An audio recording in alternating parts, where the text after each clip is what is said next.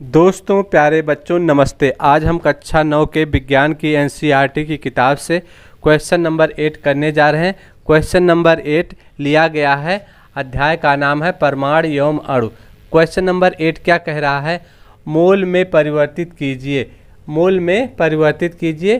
Question आठ में तीन क्वेश्चन है ए बी सी और ये 12 ग्राम ऑक्सीजन को मोल में परावर्तित करना है और 20 ग्राम जल को मोल में परिवर्तित करना है। और 22 ग्राम कार्बन डाइऑक्साइड को मोल में बदलना है।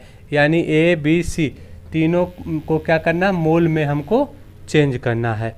मोल और द्रव्यमान के बीच क्या संबंध है? हमने पिछले क्वेश्चन में किया था, जो कि इस तरह से है।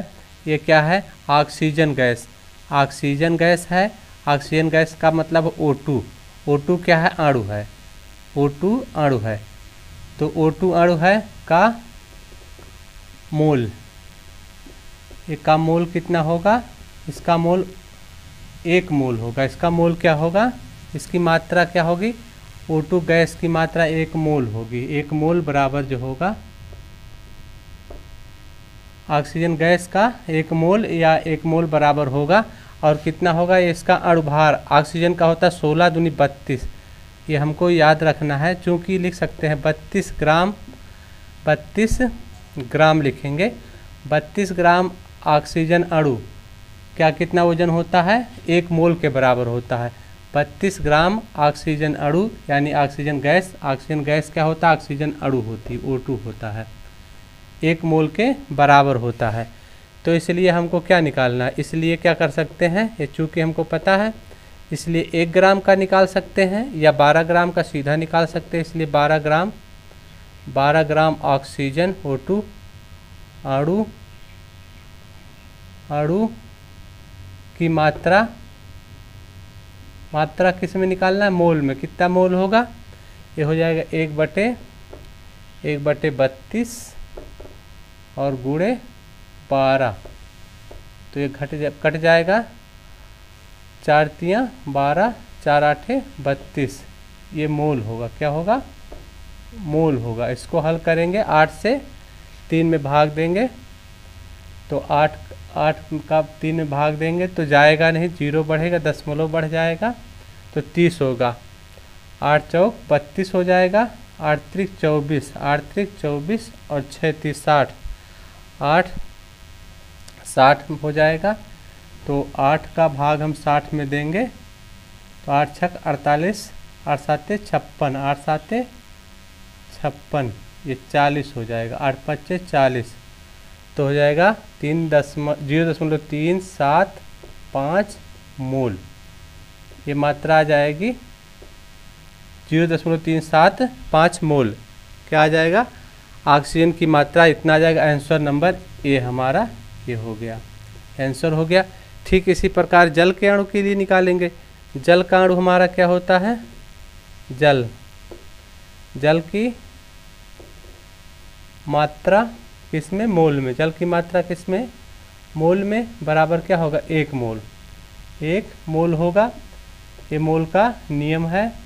और जल का अणुभार हमारा कितना होता है?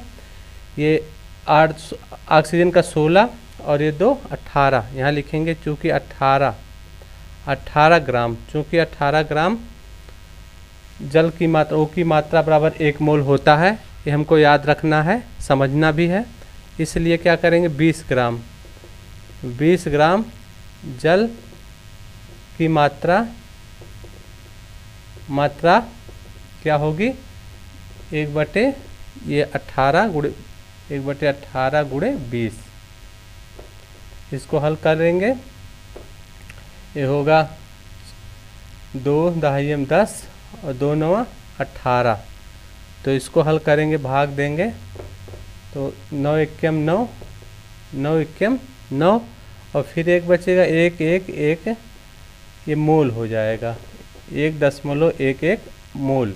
या हम ऐसे लिख सकते हैं, दस बटे नौ मोल भी लिख सकते हैं। दस बटे नौ मोल।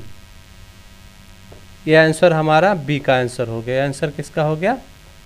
बी का हमारा आंसर हो गया। आंसर हमारा बी का हो गया। अब हम इसी तरह सी का निकालेंगे। ये हमारा कार्बन डाइऑक्साइड है। इसमें क्या है? Carbon dioxide C O two की मात्रा। सी ओ टू की मात्रा इसमें मोल में बराबर क्या होगा? एक मोल। एक मोल। ठीक उसी तरह से। अब ये कार्बन का क्या है? बारह। ऑक्सीजन का सोलह। ये बारह और सोलह दूनी बत्तीस। इसका अणु बाहर निकालेंगे। तो ये हो जाएगा चार, और तीन एक चार, चौवालीस ग्राम हो जाएगा। ये लिखेंगे चौवालीस gram carbon dioxide. Carbon dioxide, इसमें कोई अणु भी हो सकता, कुछ भी हो सकता, बराबर एक मोल होगा। क्योंकि इसलिए क्या लिखेंगे? बाईस ग्राम बाईस gram carbon dioxide C O two C O two की मात्रा मात्रा एक बटे बा, एक बटे चौवालीस ये नीचे जाएगा, ये बगल जाएगा, एक बटे फोर्टी फोर गुड़े बाईस। तो बाईस दूनी चौवालीस, एक बटे दो बचेगा। एक बटे दो का मतलब दो पाँच है दशमलव पाँच मोल। दशमलव पाँच मोल, इसका उत्तर आ जाएगा, ये सी का आंसर हमारा, आंसर सी का आ गया ज़ीरो दशमलव पाँच मोल।